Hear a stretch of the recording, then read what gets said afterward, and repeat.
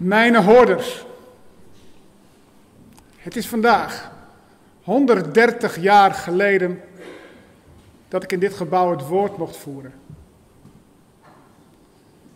Ik herinner mij dat nog goed. Maar wat is Sint-Anna-parochie in die 130 jaar veranderd? Destijds liep er nog een vaart dwars door het dorp.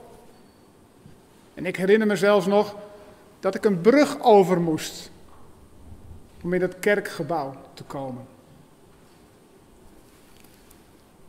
Wat ik me echter vooral herinner, is de ophef over de bijeenkomst. Ik was toen al de mening toegedaan dat kerkgebouwen meer zouden moeten worden gebruikt voor vergaderingen. Zoals u weet, ontwaakt door vergaderende geest en wordt het denken bevorderd. Het was in 1889 niet toegestaan om bijeenkomsten in de open lucht te houden zonder toestemming. Het was een machtig middel om de arbeiders te verhinderen om te vergaderen. Die verhindering kwam natuurlijk van bovenaf. Men was bang dat arbeiders zich zouden verenigen en rechten zouden verkrijgen. 1889. Een bijzonder jaar. Immers, het herinnerde sterk aan hetgeen een eeuw daarvoor in Frankrijk was geschied. Wat later de Franse Revolutie werd geheten. De Franse omwenteling was een der merkwaardigste tijdperken in de geschiedenis. Voor 1789 regeerden adel en geestelijkheid. De burgerij en het volk waren alleen goed voor om het geld op te brengen waarvan de heren dan mooi weerspeelden. De adel betaalde met bloed, de geestelijkheid met gebeden en het volk met goed. Het volk ja, was het lastdier dat geen rechten had of lusten. Het was echter een bourgeois revolutie, waarvan advocaten aan het hoofd stonden en waarvan u weet dat er van nooit veel goeds voor het volk is te verwachten. De advocaten kregen de baantjes en de derde stand, door de revolutie geboren, nam nu de vrijheid een juk op de schouders van het volk te leggen dat het juk van adel en geestelijkheid afgeschud had. Echter, in 1889, in mijn tijd, leefde het volk onder dezelfde omstandigheden als in 1789. Nog steeds zorgden de arbeiders voor voortbrenging van alle zaken. Maar zij genoten daarvoor zo weinig dat ze steeds een ellendig bestaan voortsleepten. Er werd evenals in 1789 veel honger geleden. Tevens waren werkstakingen aan de orde van de dag. En ik heb mij laten vertellen dat werkstakingen op dit moment wederom aan de orde van de dag zijn. Het enige recht van de arbeider was om van honger om te komen. En u kunt zich voorstellen dat niemand, als het enigszins mogelijk was, daar gebruik van wilde maken.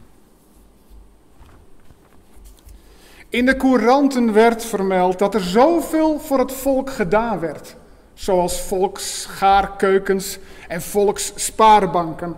Maar de ellende van het volk werd met de dag groter. Het volk leek het troetelkind te worden van de bezittende klassen. Maar het volk merkte zelf niets van die weldaden. Zoals u weet heb ik dit aardse bestaan in 1919 achter mij gelaten. U bevindt zich thans in het jaar 2019, 100 jaar later. En zoals er in 1889 een parallel kon worden gemaakt met de Franse omwenteling van 1789, kunnen wij heden een parallel maken met de situatie van 1919. De welvaart is de afgelopen 100 jaar ontegenzeggelijk toegenomen. de gelijkheid van mannen en vrouwen en het recht op de eigen seksuele geaardheid zijn absoluut verworvenheden van deze tijd. Daarnaast, heb ik mij laten vertellen, is er sprake geweest de afgelopen 100 jaren van een grote technologische omwenteling. Ik heb zelf de schaarse automobielen nog meegemaakt. Tegenwoordig zijn er zoveel automobielen op de weg dat vervoer met paard en wagen soms sneller kan zijn om op de plaats van bestemming te arriveren. Daarnaast is er sprake van wat men tegenwoordig noemt een continue vorm van communicatie. Mensen zijn altijd en overal op de hoogte van alles. En altijd en overal met elkaar verbonden. Echter, hoe kan het dan, beste mensen, dat de echte verbinding tussen alle lagen van de bevolking er ook anno 2019 niet lijkt te zijn? Dat het credo, ieder voor zich, zich nog steeds doet gelden. Dat het nog steeds zo is dat er een afstand is tussen de burger en de politiek. Dat het kapitalisme meer dan, dan ooit de overhand heeft genomen. Dat de schatten van onze aarde op een vreselijke manier worden misbruikt.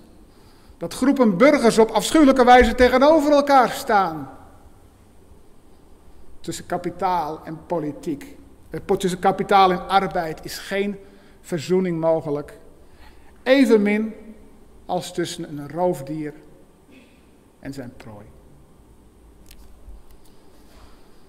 Ik heb me laten informeren over de situatie heden ten dagen. Anno 2019 is er sprake van een kloof tussen arm en rijk die groeiende is. Zo bezit thans 1% der mensheid meer dan de helft van alle vermogens. En de 42 rijkste mensen op deze planeet hebben net zoveel bezit als de armste 3,7 miljard mensen. Het is wederom tijd voor een omwenteling. Zoals ik in mijn tijd al zei, en misschien kent u deze uitspraak.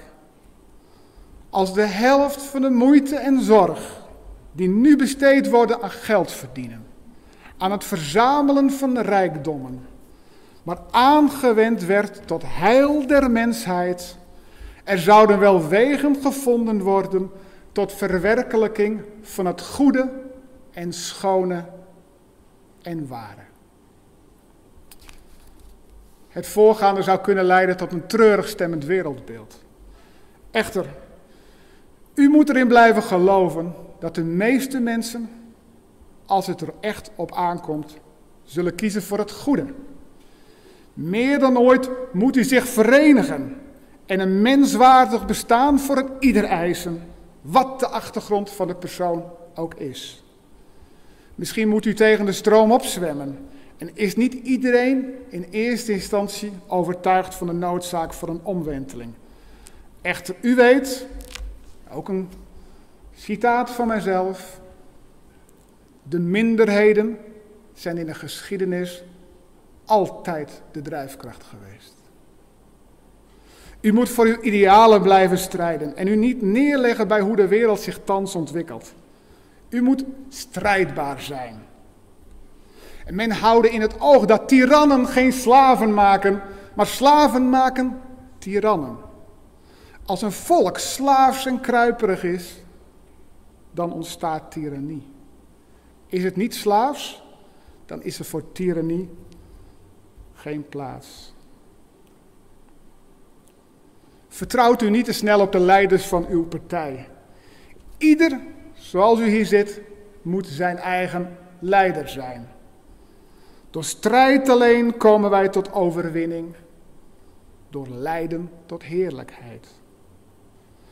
Ik geloof dat de dag van de overwinning niet ver meer is. En dan zal het zijn vrijheid, brood, geluk en recht voor allen.